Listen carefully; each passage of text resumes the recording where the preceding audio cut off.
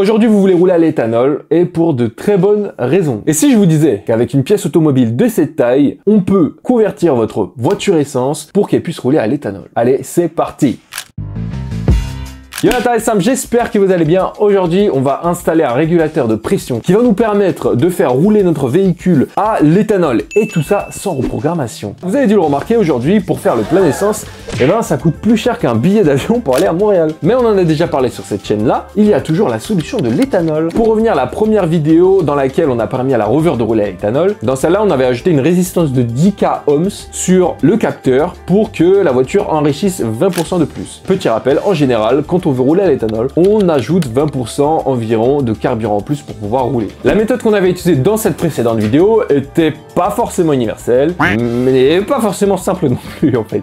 C'est pourquoi on va voir dans cette vidéo une méthode vraiment adaptable à votre voiture. Et bien sûr, je vous dis cela, mais sur le long terme, certains véhicules fonctionnent très bien avec de l'éthanol à 100%, voire 50% d'essence, d'autres moins. Et généralement, les véhicules un peu plus anciens avec des injections un peu plus simples fonctionnent beaucoup mieux avec l'éthanol que les nouveaux modèles. Mais bien sûr, les sont toujours variées, donc cela dépend aussi du setup, de la taille des injecteurs, de la pompe à essence, du débit, etc. etc. Par exemple, moi ce que j'ai fait sur la Rover 100 bleue qui est toute d'origine, eh ben j'ai mis du 50% éthanol, 50% essence et il roule très bien par exemple. Le démarrage est peut-être un tout petit peu plus long, 10% plus lent en hiver, et j'ai toujours à peu près la même puissance. Mais justement, pour une voiture qui veut rouler à 100% d'éthanol, notamment la Rover grise, euh, vous vous rappelez du démarrage de la dernière fois pour aller à Lyon J'aime pas ça. C'était assez compliqué. Il n'y avait toujours pas assez de carburant qui était acheminé sur la rampe à injection. Donc c'est pour ça que mes démarrages étaient si compliqués. Pour expliquer comment le circuit de carburant fonctionne, il vient donc du réservoir, passe par la pompe à essence, puis par le filtre à essence et arrive sur une rampe à injection. Et la rampe à injection, justement, c'est là où se joue la pression qui va être donnée aux injecteurs pour pouvoir être injecté. En bout de rampe, on a ce que l'on appelle voilà, le régulateur de pression, et qui va lui appliquer une pression qui est généralement tarée d'usine avec le véhicule, ce qui va permettre à l'essence de bien s'évaporer avec l'oxygène avant d'aller dans les chambres à combustion, et donc avoir une combustion super saine. Comme toute pièce automobile, cette pièce peut s'user, ou tout simplement, justement pour notre application, ne pas suffire pour un passage à l'éthanol. Et voilà, vous avez compris, tout simplement aujourd'hui on va augmenter cette pression-là sur la rampe à injection. Et bien sûr, si vous aimez ce genre de vidéo, eh ben j'en fais plein les amis, rejoignez la Tarais Family, abonnez-vous, commentez, likez, c'est super important pour l'algorithme de YouTube et qu'on se fasse voir et que, et que la chaîne YouTube se fasse voir par un max de monde. Et donc voilà, maintenant on va explorer les deux types de régulateurs de pression que l'on peut utiliser. Et bien sûr, restez bien jusqu'à la fin de cette vidéo parce qu'on va comparer les deux versions que l'on va installer. Ah oui, en plus des problèmes de démarrage, et aussi des manques de puissance. Et c'est ce que je vais vous expliquer dans cette vidéo. Donc les gars, voilà, je voulais vous prendre un petit moment avant euh, l'installation du régulateur de pression. C'était pour vous montrer à quel moment la voiture est stagne en puissance en fait. Donc je l'avais dit, c'est aux alentours de 3000 à 4000 tours minute. La voiture euh, limite, j'ai l'impression qu'il y a quelqu'un qui freine à ma place. Et voilà, je vais vous le faire constater avec moi tout simplement. Hop, on va faire un petit demi-tour, on va faire une accélération juste pour que vous voyez vraiment le, coup de frein qu'on a au moment où ça se produit. Là, on arrive à... J'accélère et là, voilà, 3000, 4000 tours minute, il y a un petit ralentissement. En fait, on monte, franchement, et puis ah, ça freine un petit peu, et après ça reprend. Et donc voilà en fait ce qui me gêne euh, le fait de rouler à l'éternel, c'est que j'ai l'impression que ma voiture a plus de puissance surtout. Donc maintenant on se retrouve au studio.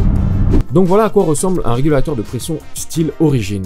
Il y a donc une petite membrane à l'intérieur qui permet de compresser et avoir la pression et au-dessus là on a une petite buse qui va aller prendre la mesure de la pression atmosphérique dans l'admission de la voiture. Et voilà à quoi ressemble un régulateur de pression tuning dans le pack, il y a tout pour l'installer. Il y a même une plaque de suppression du régulateur de pression d'origine mais qui va pas forcément convenir à ma voiture. Et on a une entrée de carburant, une sortie de carburant qui va au retour et sur le côté au-dessus on a aussi la prise de la pression atmosphérique qui va dans l'admission de la voiture. Enfin en haut vous avez une vis de réglage avec un 8 pans femelle qui permet d'ajuster la pression voulue. Donc je vais commencer par démonter le régulateur d'origine, c'est très simple. Il y a un clip qui le maintient à son emplacement tout simplement. Je vais me servir d'un tournevis plat pour le démonter doucement. Et une fois qu'il est retiré de son socle, j'ai juste à débrancher la prise qui va aller sur l'admission qui correspond à la pression atmosphérique. Comme je vous l'ai dit, la plaque de suppression dans le pack convient pas à ma voiture, du coup j'en ai dû en acheter un autre qui va convenir pour ce modèle. Celui-là va aussi convenir à pas mal de rovers, donc je le mets aussi en description. Et du coup très simple, si vous voulez installer un régulateur de pression style origine, il y a juste à démonter cette pièce, à remettre la pièce sur le même endroit, et c'est terminé. Ici, attention à ne pas oublier les joints de l'ancien régulateur de pression qu'on va enlever. Et puis pour mon cas, je dois donc enlever la durite de retour d'essence qui était sur la rampe à injection et la mettre sur cette suppression de régulateur de pression. Ce qui est cool dans ce pack là, c'est que le support du régulateur de pression est assez flexible et donc je peux le plier un peu à mon aise. J'ai pas forcément de place dans mon compartiment monteur, donc j'étais obligé de faire ça pour le placer à l'endroit que je vais vous montrer maintenant.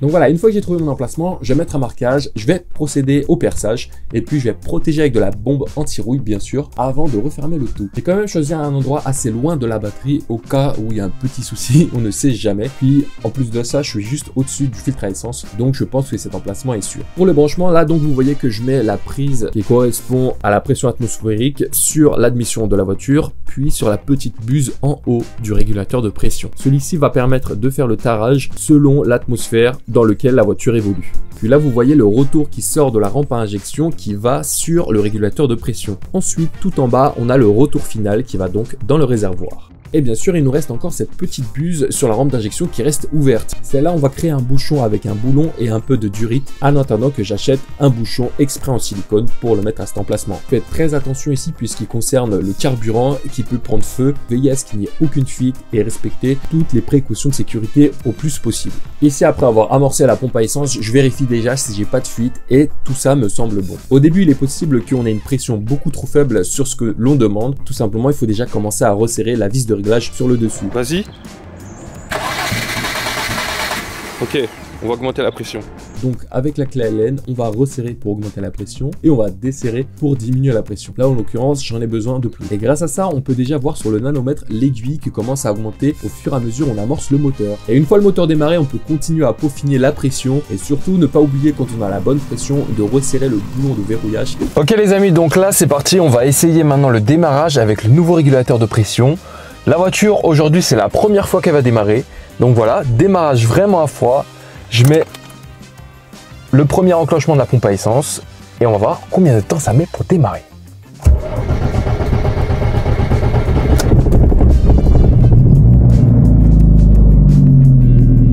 Ouais, ok. Bon voilà, c'est un peu long quand même, je l'admets, mais c'est vraiment encourageant parce que d'habitude c'est au moins au quatrième tour de clé. Donc là c'est au premier, je mets un peu de temps, mais voilà, la voiture elle démarre sans aide, sans appuyer sur l'accélérateur, rien du tout. Donc c'est vraiment encourageant je trouve. Maintenant, passons test sur route. Ça y est les amis, on se retrouve au même endroit où on avait testé la voiture sans le régulateur de pression. Donc, on va faire la petite ligne droite avec une accélération. Euh, la caméra risque de pas trop bien tenir parce que j'ai vraiment eu du mal à la caler ici. De toute façon, ce qui est important à voir, c'est de constater sur la GoPro que euh, le passage entre 3000 tours minute et 4000 tours minute se fasse plus rapidement qu'avant. Donc voilà, je vais faire mon petit demi-tour comme, euh, comme d'habitude, un peu tranquille, voilà, toujours rouler tranquille. Et euh, je reprends la deuxième. Une fois que j'ai repris la seconde, on est parti pour faire notre accélération. Je vais y aller à peu près 50% de la pédale à fond enfoncé. Voilà, j'ai pas besoin d'aller à 100%, c'est rien, je vais patiner pour rien. Allez, c'est parti.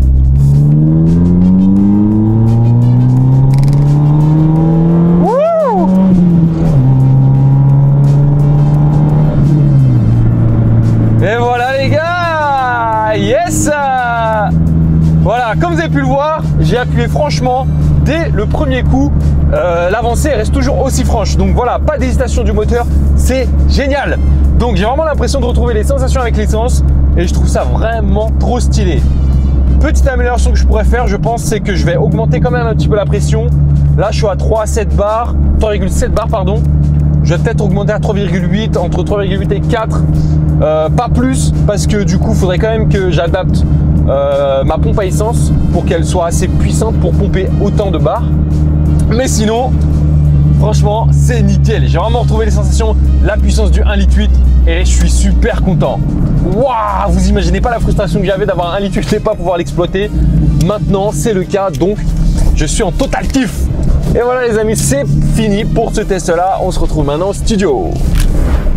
Bon, voilà les gars, donc pour la version tuning, le démarrage est exceptionnellement plus rapide que la dernière fois. Donc ce qui est vraiment bien avec ce type de régulateur de pression, c'est que c'est réglable. Donc si jamais il y a besoin d'une faire une reprogrammation ou pour euh, tout simplement repasser à l'essence, paf, on dévisse la vis pour remettre une bonne pression et c'est génial. Donc on a du flex fuel manuel un petit peu, mais euh, le principe est là. Et en plus de ça, c'est beau.